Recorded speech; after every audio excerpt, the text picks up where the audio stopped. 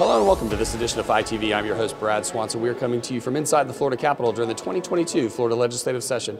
We are joined by our friend, Representative Geraldine Thompson. Thanks for coming on. Glad to be here. All right, so you're here, you did game day, you're back on the show. What are you working on this session? I'm working on getting scholarships for the descendants of the Groveland 4 mm-hmm. I filed legislation in 2014 to clear the names of those men, wow. and that finally happened November of 21. Mm-hmm. And so to compensate or to try in some small measure to make the descendants whole, I am uh, advancing a bill to establish scholarships as we did for Rosewood and Ocoee. Sure. Such such a tragic part of Florida's history, and it's a way to you know really address the or right the wrongs, if you will, in some way. Yes, absolutely.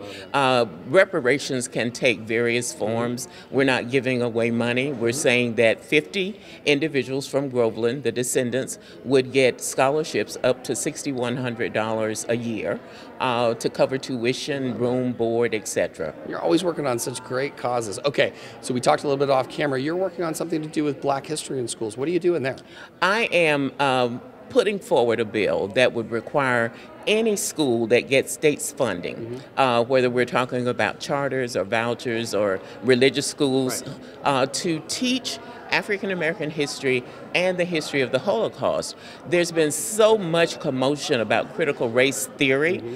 and this uh, is not what we're doing with African American history. A theory takes a position and tries to indoctrinate African American history presents facts. I love it. it pre- presents um, occurrences and then allows individuals to draw their own conclusions. Well, I love I love the fact that you're combining it with another piece of history that's that's been appropriated for political stances. So having those two histories together, what a great thing to make sure is enshrined in Florida curriculum. Well, uh, I think our students deserve the opportunity, but they, we live in a very diverse state. They deserve the opportunity to learn about people outside of their own group, and that way uh, there's greater appreciation, greater information, uh, and greater cooperation between individuals. Well, Representative Thompson, you're always working on such great bills. We really are, are, are thinking good thoughts and sending you good vibes to get these bills across the finish line. How much more do you have to do on these two bills? Well, I have to get them on the agenda, first of all, in committee to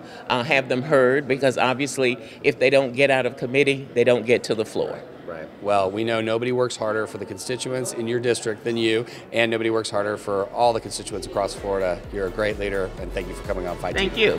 Thank you. That's all the time we have for this episode of FITV. For more great interviews like this one, make sure you hit us up on our social media feed. And for now, thanks for tuning in.